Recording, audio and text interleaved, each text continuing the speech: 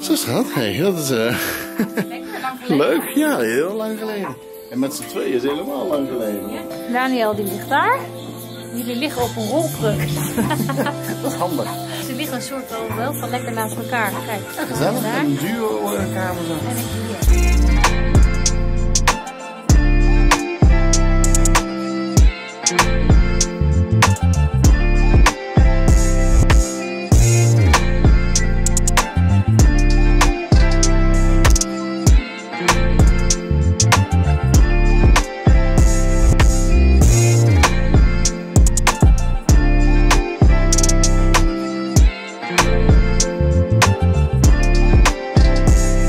Veel knopen, hè?